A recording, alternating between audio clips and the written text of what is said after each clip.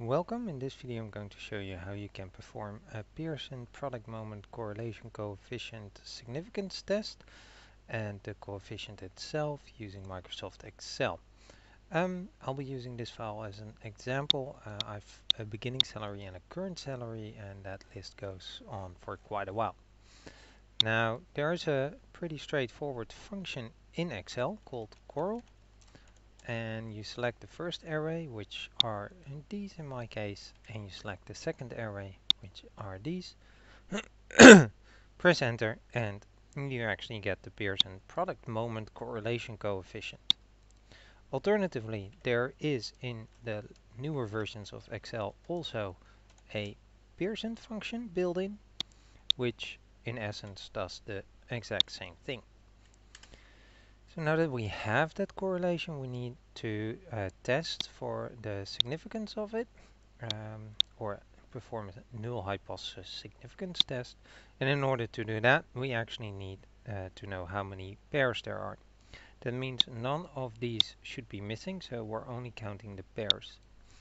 Uh, to count that, we can use count ifs, and we select the first range a double dot a and it shouldn't contain any blanks.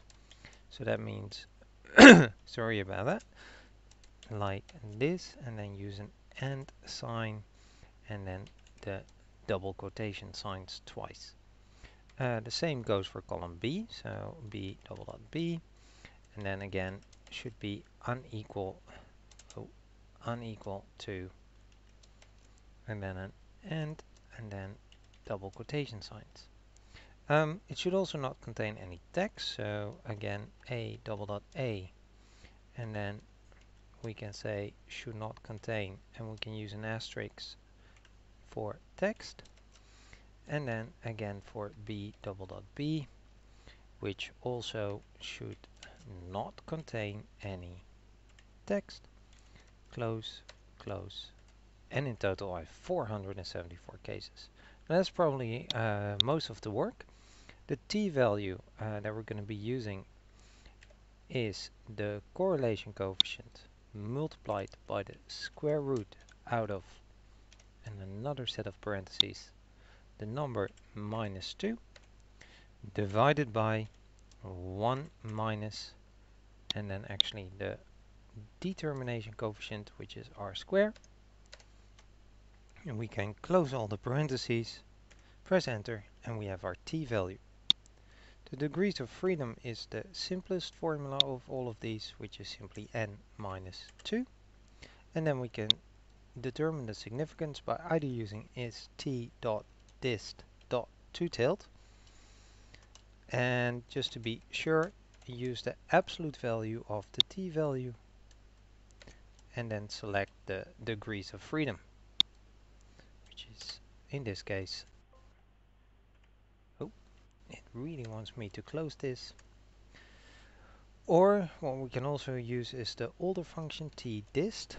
Uh, again, the absolute value of the t value. Uh, again, the degrees of freedom. And that we actually want it two-tailed. Close everything up. As you can see, in this case it's uh, far below zeros, uh, 0.05. Um, which would suggest a significant correlation, or at least that the correlation coefficient is most likely also in the population different from zero. I created a small user-defined function that can actually perform this test as well, uh, called Pearson Core. Uh, if you put as output method 1, it will actually give you simply the correlation coefficient. If you put 2, it will take the, uh, show you the t-value. If you put 3, will give you the degrees of freedom and anything else uh, will give you the significance. I'll put a link to this example file in the description below.